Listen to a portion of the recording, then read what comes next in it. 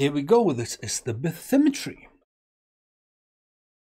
Okay, this is from the Tomczak Godfrey textbook.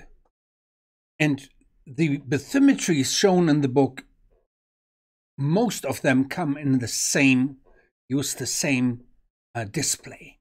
Okay, you can always see the uh, purple regions, okay, which are regions where the total water depth exceeds five kilometers.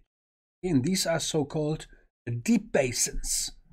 Okay, and so in this graph here, you can see the Southwest Pacific Basin. So before I start with that, you can see that the the the uh, the region around the South Pole, around Antarctica, is actually all connected.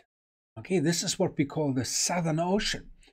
There is a free connection, okay, all around the Southern Hemisphere.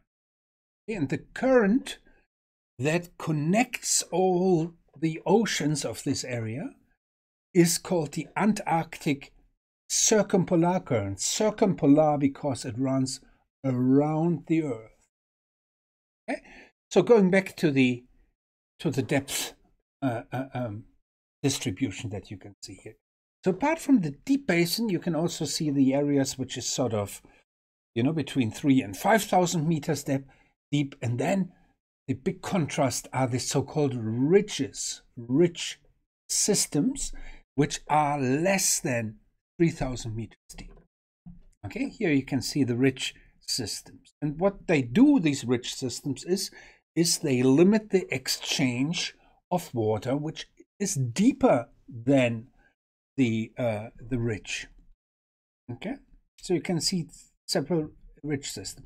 So the major constraint of the Antarctic circumpolar current is actually the existence of Drake Passage which is a narrow passage, okay, between what we know the Weddell Sea, okay, in this this area, and South America. You can see it is a narrower connection. It's called a passage, but there's also the constraint that this area has a shallower water. Okay, there is a ridge system which which constrains the the flow going through this. area. Okay, this is a major constraint for the flow, the connection of the flow uh, along the um, Southern Ocean.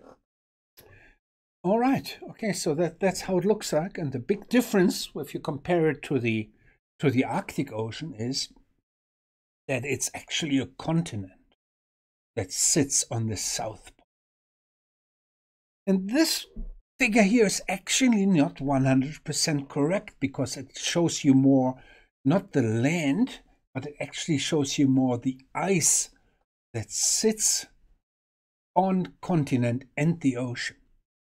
Okay, and let's see whether I have a little bit more detail on the next slide about how the Antarctic Ocean or the continent, okay, how the continent really looks like under the ice.